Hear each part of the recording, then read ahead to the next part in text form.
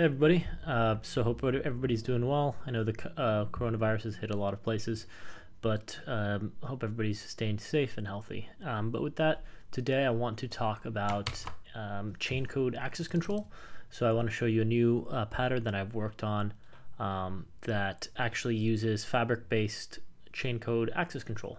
So this was something that's been really good, um, being able to customize exactly what functions or what part of the smart contract or of the application a user can access based on their certificate. Um, so what makes blockchain and Hyperledger Fabric great is that the, each um, identity or each participant within an application is granted these public and private keys, and we can um, use these certificates to see who they are. Um, and we can trace back every transaction to those certificates. Um, and today I want to teach you how to use chain code based access control.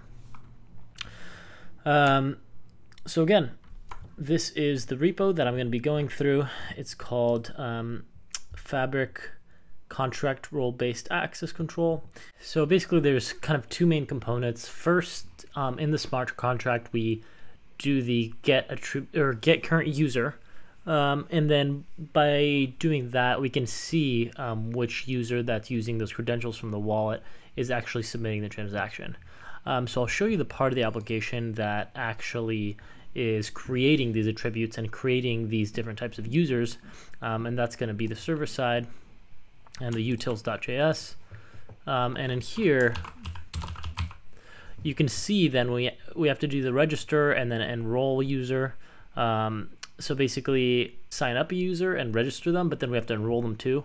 Um, and we'll see that through the UI too. But um, basically, this user type attribute that's going to be given into the certificate authority is going to create this new user and we're going to have these attributes with that new user. So those attributes are going to be either that the um, that the user is a retailer or a regulator a client or a customer or a, a supplier.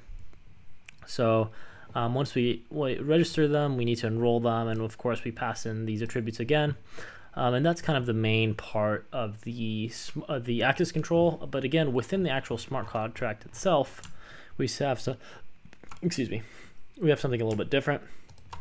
So um, within the actual contract itself, we can go into the lib and in the supply chain contract, and then at the bottom, we'll see that um, we actually go ahead and get the current user type and this is what's going to get the attribute value of user type.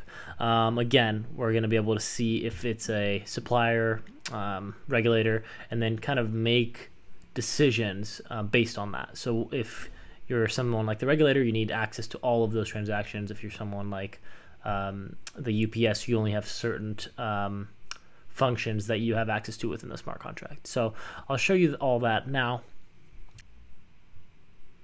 Cool. Um, so now this should work. Um, now we can log in as admin. Admin PW is the password. If we log in, um, we can see the users that we have, and this is based on our wallet. Um, and it's important to see that they're enrolled, right? Um, so basically, we can register a new user, and that's going to call this. Um, oh yeah, here we go. Register user. Um, and then after that, you'll see that we can enroll them, and that's going to call the enroll user function. So yeah, this register user again um, passes in the, the, attributes and then registers, and then enroll user actually um, imports the identity into the wallet. So that's kind of the main difference between the register and the and the enroll.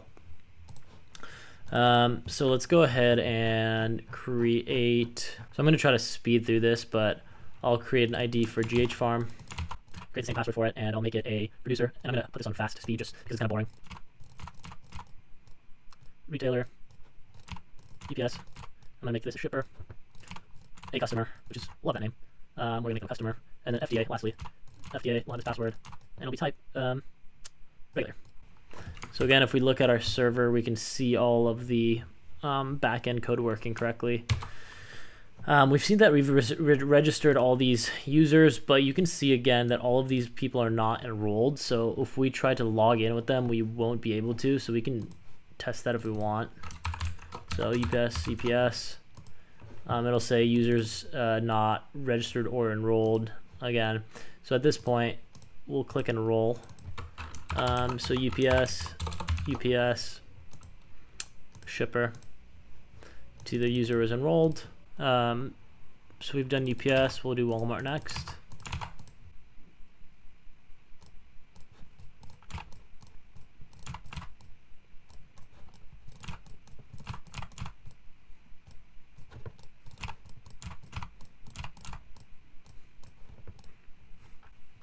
Okay, so now let's go ahead and log in as Walmart. And all the passwords I just made made the same thing as the user ID, not the most secure, but hey, we'll take it. Um, next, we're logged in as Walmart, and we'll create a couple orders. Click on place order, and we'll create some corn. And producer ID is just gonna be the farm we have. Create that order you can see that the order is created successfully and then in the back end we we see that we've actually created a, a smart contract transaction. So that's basically written some um, we've written basically this um, data to the block. Next we're going to place an order order for avocados.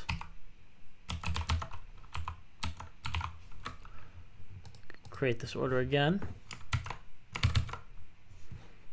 You can see transaction happening behind the scenes. Awesome. I've created those orders. Um, now we're going to actually go ahead and log out and we'll log in as GH Farm. And we should see those avocados and corn um, in our in our producer portal. And now we have this order ID that we can query at the end of the day. So um, since we love avocados, or I love avocados, we're going to only work with these avocados and not the corn. Um, so we're going to accept the order. This will take a couple seconds. You'll see now that the order has been received, and now we can assign a shipper. Um, and we'll assign the UPS because that's our only shipper. Um, and of course, if you're working with someone other than UPS, that would be where that would go. And we've done all that we that the um, producer portal has access to. And again, you can see within the smart contracts, um, which is great, that the producer, um, again, contract, um, so you can see the producer, um, producer can only, to be called by a producer, right, this receive order is what we did, and when we check, um, we have to be the we have to be a producer to actually do this. This is again access control. We check if check if this user ID is um, is this specific producer ID.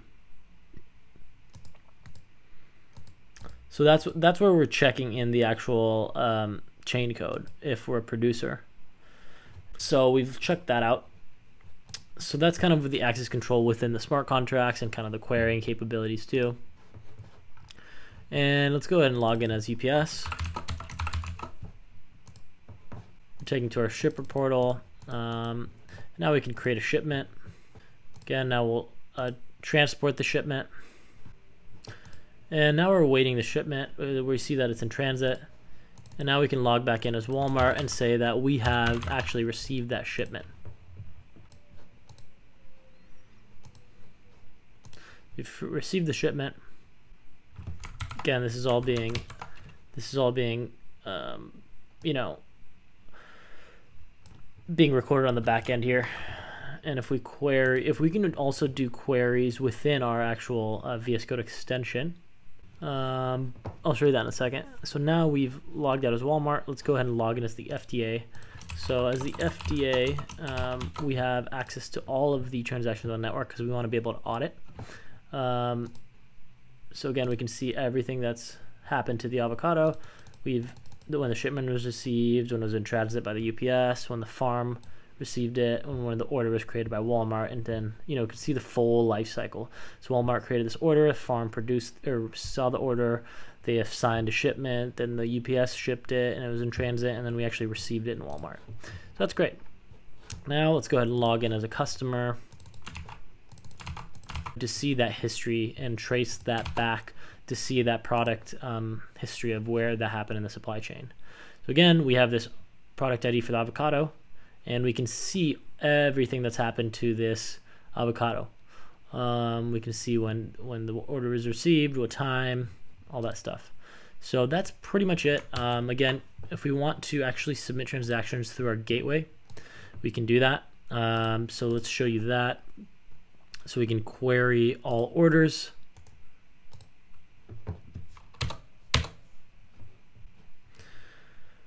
Um, so we can query all the orders and we get um, all the orders. We can see that the, you know, the order, the order OCED, which was the um, avocados, I believe. Yeah, avocado quantity 15. So again, you can you can kind of work through here the the actual fabric gateway itself.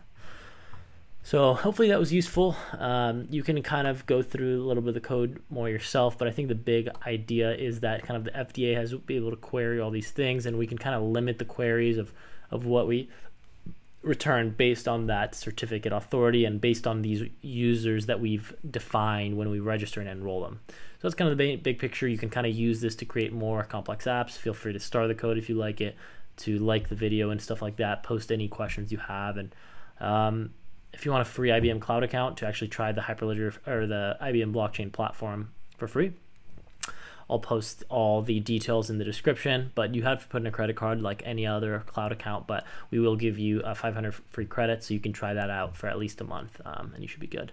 So thanks again for watching. Um, stay safe and healthy. Thank you. Bye.